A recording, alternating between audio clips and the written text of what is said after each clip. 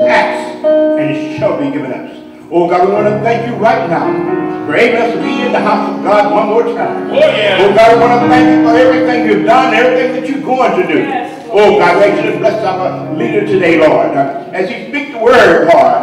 Oh God, help him, oh God, to explain the word of God. For the word will be a lamp to our feet and a light unto our path. Oh God, we ask praise you, Lord. We thank you, Lord, for everything you've done, everything that you're going to do, Lord. Ask you to bless one that's here today, Lord. Uh, oh God, bless them right now in the name of Jesus. Uh, oh God, let them open their heart. For you said, make a joyful noise to the Lord, all ye men. Oh, yeah. Serve the Lord with gladness. Uh, come before his presence with singing. Uh, know that he is God. He is God. And he's the only one that saved us. Uh, oh God, I want to thank you right now, Lord. Uh, as you the Arnold family today, Lord. Oh God, in the hour we bereaved. Oh God, let you to touch their heart. Let them know, Lord, that earth hath no sorrow that heaven cannot heal. Oh God, let you to bless them right now in the name of Jesus. Those that are sick today, Lord. Touch their body, Lord. And I know that you heal them, Lord. Your heart sickness your mind your head. Oh God, let you to bless them right now in the name of Jesus, oh God. Uh, Oh, yeah. Right now, Lord. Come on in the house, Lord. Let your presence be kept, Lord. In the name of Jesus. Oh God, let me give you the praise. I it to you, oh God. In the name of Jesus. Oh God, as you bless them, pastor and first lady, Lord. Oh God, as they come to and fro, Lord. Keep your loving arm and taking around them, Lord. Let them know, Lord, that you are leading them. Oh God, the high, high, and deep and down. In Christ Jesus. Oh God, I want to thank you right now. Each and every blessing we ask, Lord. In your name, Lord. Not man, but you, oh God. Uh, in Jesus' name we pray. Amen. Amen. Come on, somebody praise Christ today.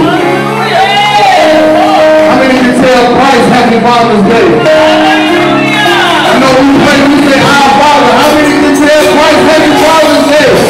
Hallelujah. Because you are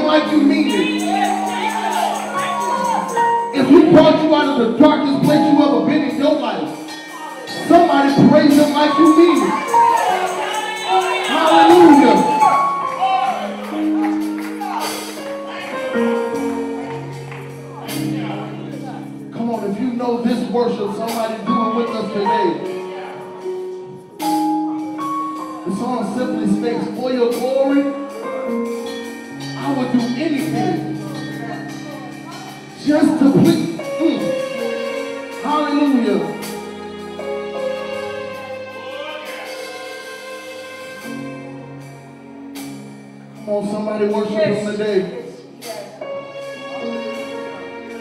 If you can't, just put your hands up. You don't have to say a word. If you just can't put your hands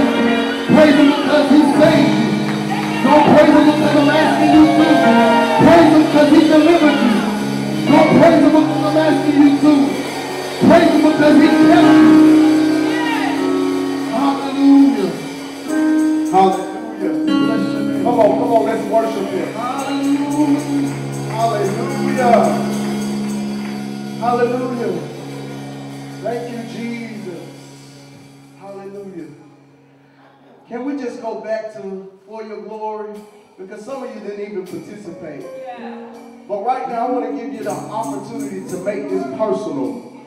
To where, wherever you need God to come in your life, tell Him you'll do anything. Come on. To.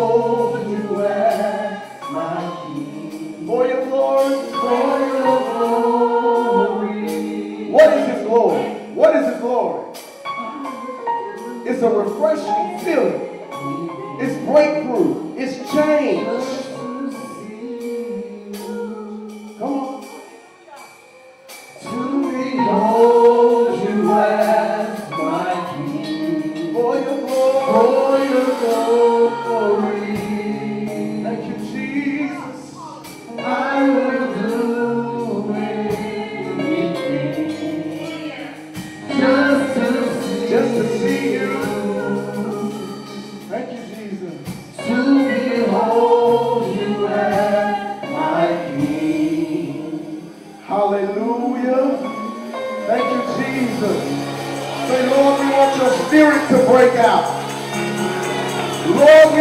your spirit to break out. We want your spirit to break out in this place. We want your power to break out in this place.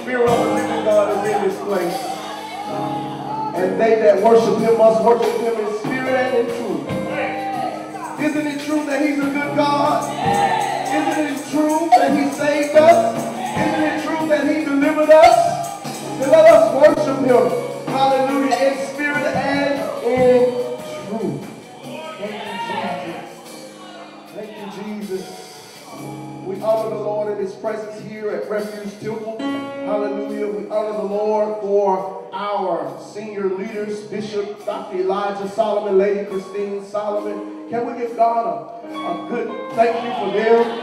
Hallelujah. Thank you, Jesus, to all of uh, all of the members of this church. Hallelujah to all of our elders, uh, Elder Ponder. Hallelujah to the deacons. Hallelujah. All of the deacons, Deacon Greg Dunn, uh, Deacon Anthony Booker, uh, Deacon Willie Simmons, uh, uh, Deacon Ed, Eddie Simmons, uh, Deacon Jimmy Hammond, hallelujah, Deacon Ham, all of the, did I miss anybody? Dumas, Deacon Dumas, Deacon Spence, hallelujah. We honor the Lord for all of them. Can we just love on all of the men and say Happy Father's Day? Come on, look at our father and say Happy Father's Day. Come on, look at him and say Happy Father's Day. Hallelujah. This, today is Father's Day. Uh, and a lot of things are going on all over the world. A lot of things are going on to where men are not valued as men. A lot of things have replaced the man in the house. But we're thanking God for godly men and for a godly position that God has ordained the man to be a part of the family. So can we thank Jesus for a man today?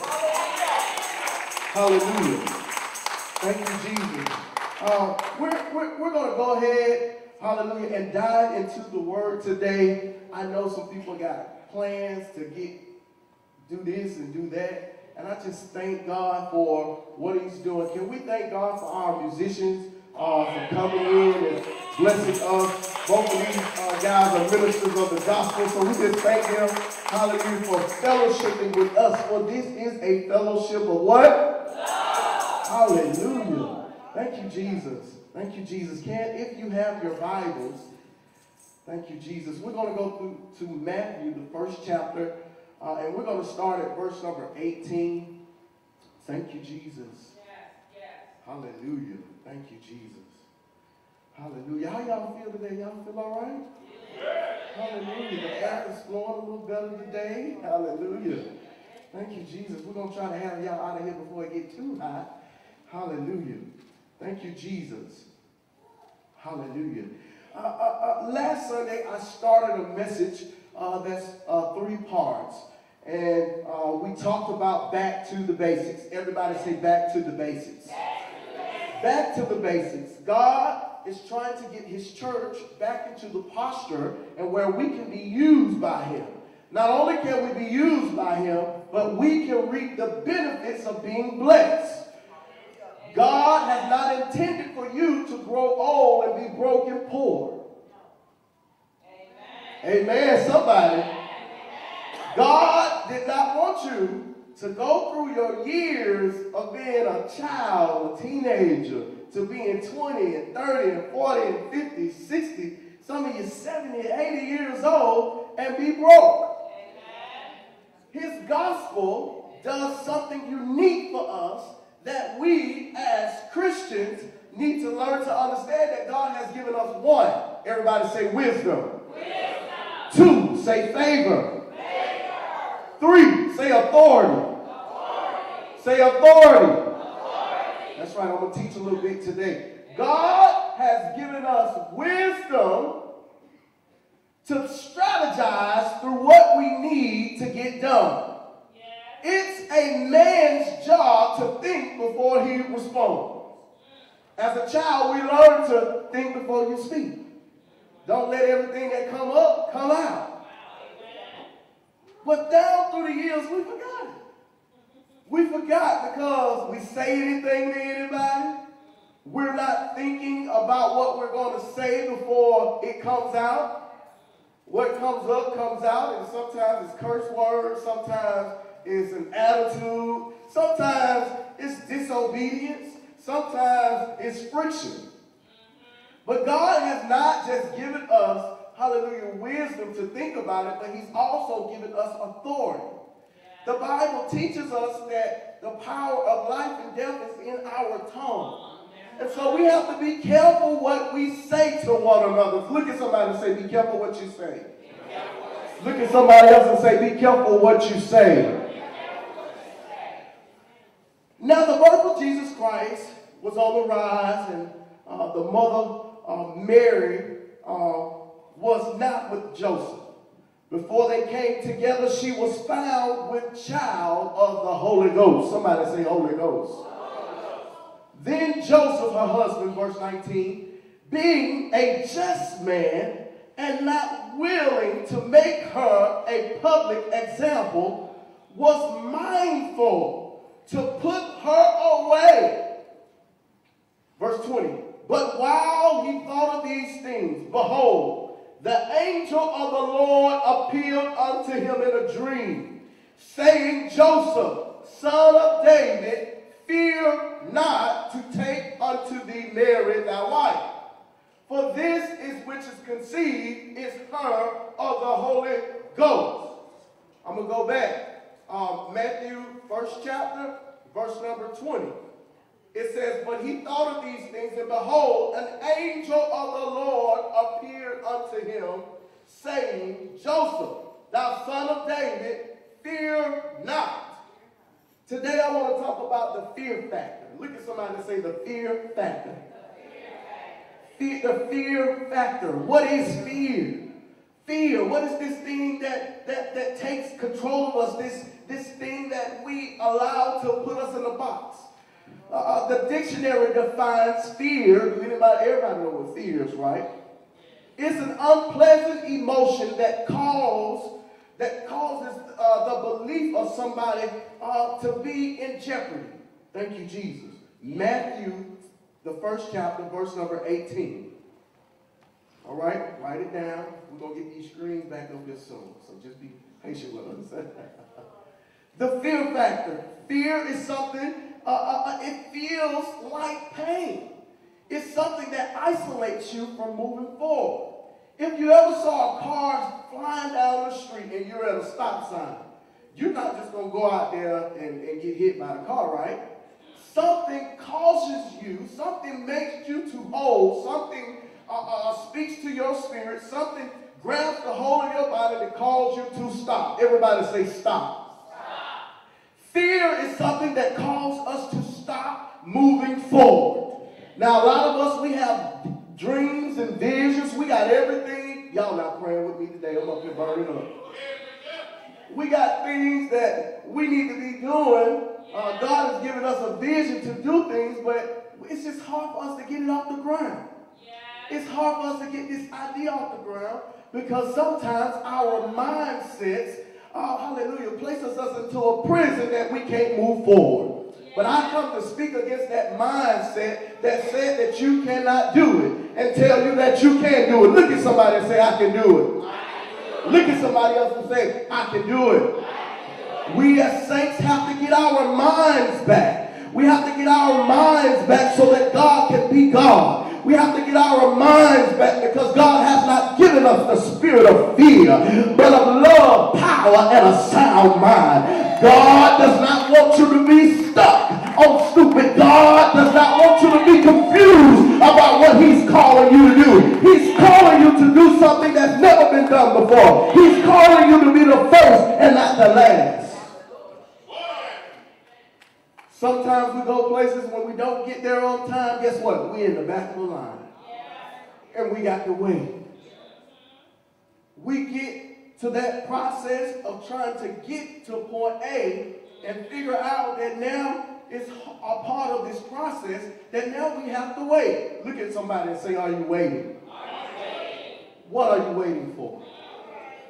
What's keeping you from moving forward? Is it fear? Is it fear? Have you learned to use the tools that God has given you, and I'm talking to y'all, I'm, I'm, I'm trying not to hoop, I'm trying not to preach, because it's, it's very important that you get this so you can use this from day to day. What is keeping you from moving forward? What is keeping you? Is it your past sins? Is it things that, that you committed to yourself that you don't want to talk to nobody about? Is it, is it some type of dysfunction? But I've come to tell you, God has given us something to get over all of this. Yeah. Yeah. It's something that we have to get back to doing. It's something that is very important. Like last week we talked about prayer. By a show of hands, how many people dove into prayer good this week? Hallelujah. Give yourselves a hand. Now we have to get back to prayer, but not only do we have to get back to prayer, we must get back to receiving the gift of the Holy Ghost. Everybody say Holy Ghost. In this scripture, you will see what the angel of the Lord tells Joseph that she is with something that we call the Holy Ghost. The Holy Ghost is not a, a, a, a, hot topic. You don't see them creating reality shows centered around the Holy Ghost. You don't see them uh, branding the Holy Ghost. You don't see them using the Holy Ghost because the Holy Ghost is nothing to play with. Amen. When you receive the gift of the Holy Ghost, God gives you power.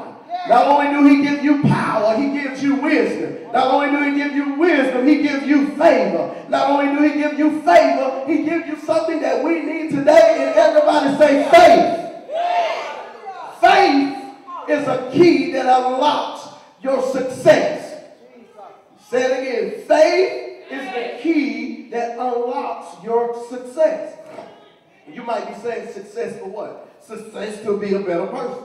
Success to love. How many of you got people right now that you can't stand to be around? Stand to sit in the same room, stand and say something to. It's, it, it's something that's, that's there, all right? It's something that something that we don't like about this person that keep us from moving forward in a good, healthy relationship. So some of you, you know, we just don't honor God and what he's established us to be, and that's brothers and sisters. I ain't gonna touch on that right now. But let me get back to this faith.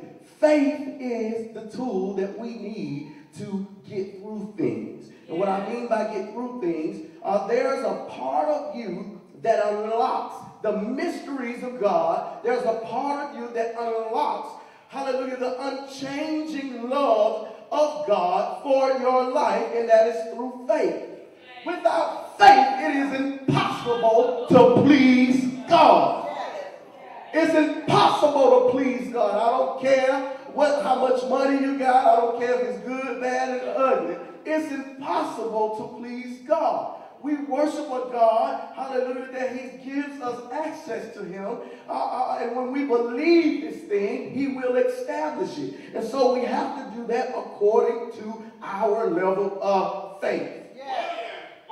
Faith is something that can give you access to God's healing power. How many of you have ever been sick and needed God to heal you? Not only did you ask God, but you had faith to believe that you was going to get healed. We need to reactivate our faith in God. God did not bring us through all of these trials and tribulations. He didn't bring us through COVID. So many people died because of COVID. Then they created this monkeypox. Then they created all this other stuff. But yet, here we are still alive. Here we are still alive. You got to be alive for a reason. You got to be here for a reason. Like Joseph, Joseph was wondering, what is the reason that I got to do this? What is the reason? He had already made up in his mind, listen, I ain't married this girl, I ain't had sex with this girl, this baby cannot be mine. This baby cannot be mine. There's a part of what we say adoption is that we must take on in the church. We all have been adopted into a royal priesthood. And so there's a certain responsibility that comes with adoption. If you ever known somebody to adopt people and adopt children, I remember being young and seeing uh, where adoption was the thing to do because you had a caring heart. We've seen so many families saved right here in this church because of adoption. It's a part of God's process of love. If we can claim something that is not ours, but is God, then we have favor with the Lord. We have favor with the Lord because we're coming out of ourselves and saying, God, I did not birth this child. I did not birth this thing, but I'm going to adopt this responsibility. I'm going to partner with you and the Holy Ghost to make sure this son, this, this daughter, this, this boy, this girl get a chance at life a better way than putting them in a system. We must take on the mindset of God. To be in God is to be a lover of God. And to be a lover of God is to endure all of his suffering. You got to be a partaker of his of his suffering. It's when we come to this table and have bread, bread with communion, we are partakers of his suffering. You cannot be a Christian and work in the kingdom if you don't know how to endure suffering. Suffering is a part of the process. You are not going to escape suffering. I don't care how old you get, you cannot run from suffering. But what you must do in the midst of suffering, what David did, he put on the garment of praise and take on the spirit of heaviness. Suffering will cause you to go into a place to where you are challenging God. Joseph did not want this burden.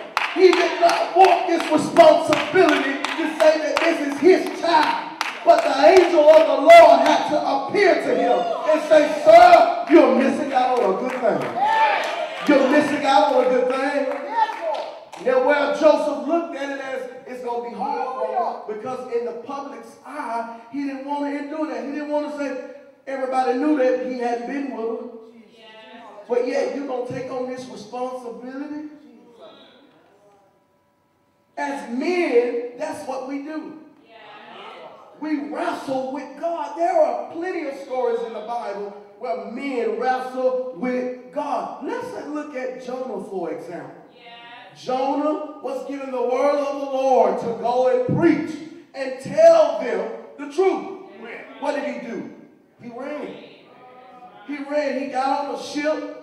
And when he got on the ship, the ship just got all tangled and twisted up. And the people on the ship were suffering because of his disobedience. How many people around you are suffering because you won't obey God? Won't obey God because you can't feel it how you want to feel it. Because you can't see it how you want to see it. We become self-pleasing creatures when we don't rely on God. Jesus. Jonah ran. He ran and messed up the ship. They threw him off the ship. Then he got in, in, in, a, in a whale. Big old fish. Okay? Yes, the fishes out there that's big enough to hold a man. It was when he came to himself and said, God, now I'm paraphrasing this. You go back and you study your word. Now, God, I don't want to go to them people not going to receive me, this and such, da, da, da, da. Really? You telling God this? Are you really telling God you don't want to do this? Jesus. You telling God you don't want to be the sacrifice? Jesus. Are you really telling God you can't do this? And he's telling you that I'm giving you the activities of your limbs. As long as you've got breath in your body, you can do it. I don't care your educational level. I don't care how much money is in the bank. If I say you can do it, you can do it. And we still telling God no.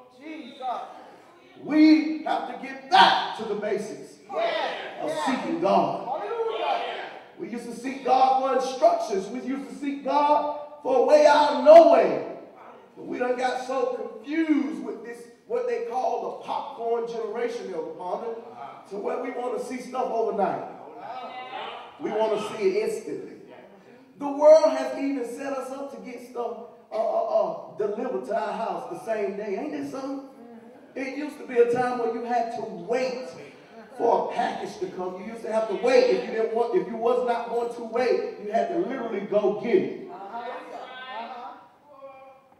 So us as Christians, we forgot that there's a waiting is a part of the process. Yes. Waiting to see the victory is a part of the process. That he does do miracle signs and wonders, and he will change something overnight. But if he do it for us that fast, you're gonna think you're too good. You're gonna get the smell of yourself. You mean to tell me you ain't gonna endure nothing? You mean to tell me because it ain't going your way, you're gonna give up?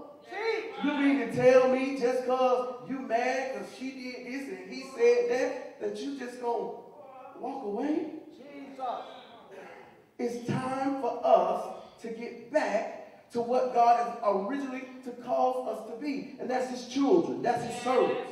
And so fear is a factor right now that a lot of us are struggling with. We won't come to reality because it's going to change some things around us. When we take on that stronghold of fear, then the Spirit of the living God is going to do something that He's never done before. You have to overtake this mindset, allowing you to be fearful. You're so afraid you don't want to come out of the house, you don't want to talk to him, you don't want to talk to her. You got to let go of this fear. Yeah. The Bible says, I reckon for the suffering of the present time cannot be compared to the glory of God, which shall be revealed. The suffering of the present time, what you are suffering, what your mind is suffering in, because it's all a trick of the mind. That's why you gotta get your mind back. You get your mind back, you get your faith back. You get your faith back, you get your power back. You get your power back, you get your authority back. It's that simple. When you say it like that, Elder Oliver, but you don't know. Yes, I do know. I've learned to trust God no matter what. Yeah, that's right. No matter what, I'm trusting God. That's it. I mean, you can take it to the bank. Mm-hmm. You can take it to the bank. There's so many testimonies in here of people mysteriously getting money and don't know how this money won't happen. But your level of faith allowed you to oh, believe God. The angel of the Lord was trying to get Joseph to see that you got to trust the Holy Ghost. Joseph knew because the Old Testament had the prophecies that Jesus was coming. It, it, it tells us that there was going to be a one that was born of a virgin. There was going to be one to literally change the kingdom. There was going to be one. Joseph had to realize that from a friend. You may say, Who is my friend today? I don't have no friends. I'm not able to trust anyone. But the Spirit of the living God has literally placed you uniquely with people. There are people that are connected to you that can literally speak in your life if you just listen. We have to learn to listen. We have to learn to listen to the community that God has placed us in. There is no mountain too high, no valley too low that we cannot learn to trust again.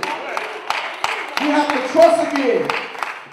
And there's been relationships in our lives that your friends didn't handle you the right way. They lied on you, they talked about you, they criticized you, they didn't understand who you was. But God is saying, I'm in this season of your life, I'm connecting you with the right people. You got to look around. I'm done. Come on. You got to look around and see what I bless you to be with. To be with. Get your mind back, church. It's time for us to grow up in God. It's time for us to have no more fear and just faith to focus. Get your focus back. Time to get your focus back. Get some structure. I mean, this pandemic has just really just tripped us up. I found myself getting upset with myself because I can't get to church when, when I want to get to church. And I'm going, Lord, I just, it, it, it, it ain't my wife's fault. "Mm-mm, it ain't my daughter's fault. It's my fault. So what can I do to help me be a better leader so that I can get where we need to get on time? You got to ask yourself that question. Do I need to prepare at night? Do I need to lay my clothes out at night? Now, I know I live 30, 45 minutes from the church, and sometimes you get on the highway, it's traffic. You got to factor this stuff in. You have to be strategic now, y'all. The devil is no fool. He know everything that'll tick you off. He know that one person that if they call you El Plumber, you gonna go out. He he knows. You have you cannot be ignorant to Satan's devices. That's right. You have to be smart because he's not smarter than you. You walk with God. You have the authority that God has given you. Not only, not only that, but he has angels encamped around you. And so what you give him access to, he gonna take access. Oh, yeah, That's right. He'll take your mind. Not only will he take your mind, he'll take your money. Not only did he take your money, but he'll take your relationship. And next thing you know, you down, busted and disgusted. Mad at everybody else, but taking ownership for what you need to own. Joseph knew that this ownership part, and I'm, I'm closing, this ownership part, that if he took ownership of this, this, this child, this, this baby, then he knows that it was going to come with a level of responsibility in which he did not want. He did not want the shame. He did not want the burden. How many of you know it costs money to raise a child? Woo. It costs money to raise a child. I didn't know it till I got my home. I thought my mama just was, you know, telling me I ain't need that because she didn't want me to get have that. But now that as I walk down the aisles of the store, my little girl grabbed everything. It's just like, you don't need that. What you need this for? This cost a toy costs thirty-four dollars for a dog that don't talk. She can't write. She can't even do no homework. You mean to tell me I got to buy this, and if I don't buy it, you gonna have a tantrum on me? And I can't whoop you because it, it's not fair. Children come with responsibility. Joseph imagined all of these things. He knew the burden. He knew what he was going to have to do for something that wasn't even his. But Joseph, when the angel of the Lord spoke to him, and she told him that Mary is with child and was conceived through the Holy Ghost. This is one of the miracles in which Christians cannot be a part of the kingdom. Hear me closely. If you cannot receive that this was a miracle, then you'll have a hard time believing that God can do a miracle for you. You have to open up your mind and say, I don't know why we do this. We will watch Harry Potter and watch all this witchcraft, all of this witchery and sorcery, and believe that the cat gonna come out the hat. But we don't really believe the God of the Bible that says that the Holy Ghost impregnated Mary. When you can believe this one miracle, that will change your mindset to realize that God is able to do anything. He's able to do everything. He's able to change your mind. He's able to change your life. He's able to change your situation if you just believe. If you just believe. Get back to believing what God said. We as the church need to go back to reading our words, studying it for ourselves. You got to study this word for yourself. You cannot depend on Nehemiah to come up here and set you on fire off of the word in his belly. That's for him and his working. You cannot expect Sister Brewster, Sister Brewster to come up here Because she's a beautiful songbird. She just, can we give God a praise for our praise team? Sister Sherry, Sister Allison, they're doing such a wonderful job. But you can't expect them to get up in, in here and use the word that they use for them for you. They are leading you to a place. They're not performing the sacrifices for you. That's right. It's That's your right. job to participate. Look at somebody and say participate. Now I know a lot of us we grown up in age and older, and we can't run these eyes like we used to. I know I can't. We can't do all of the things, but there's a certain responsibility in the spirit. Somebody say in the spirit. That we must commit to to change this atmosphere. Literally, people will come into this place, and by the worship atmosphere that we create, chains will begin to fall. Our people, chains of bondage will begin to fall when we get the house in order. Bishop Solomon has been telling this church to reimagine. Reimagine. reimagine And some of you, before you reimagine, you need to get your mind back so you can see it. Stop looking at everybody else. Stop looking, some of you at your bank account.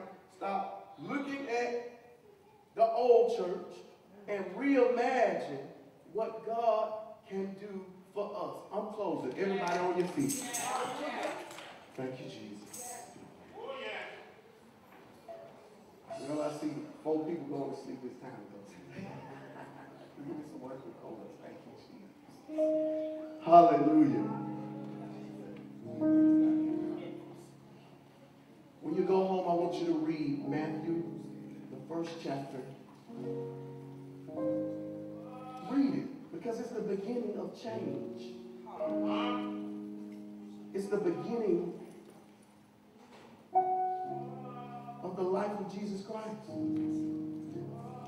Verse 21 says, And she shall bring forth a son, and they shall call his name Jesus. Everybody say Jesus. For he shall save the people from their sins. We were all born in sin, shaped into iniquity. We all have something that we're petitioning God to forgive us from. You may be saying, I'm not sinning. I'm too, I'm